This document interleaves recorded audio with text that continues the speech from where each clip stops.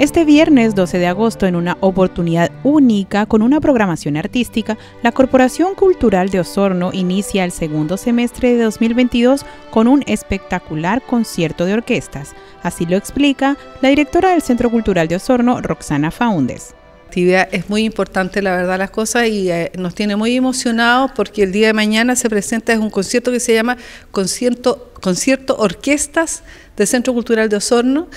eh, donde vamos a partir con la Big Band Infantil Juvenil en su primer concierto a público. Este es un proyecto muy hermoso que eh, partió con apoyos del Fondo de la Música, Fondar, pero que después los asumió el municipio de Osorno.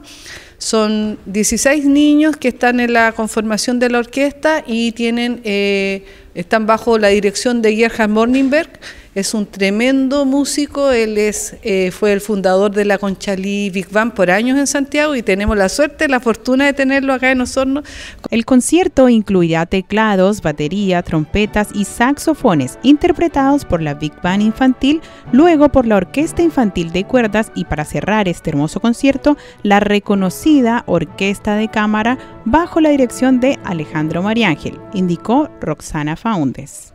vamos a partir con este hermoso y emotivo y sensible concierto con, los chiquititos, con los más pequeños. Después va a participar la orquesta infantil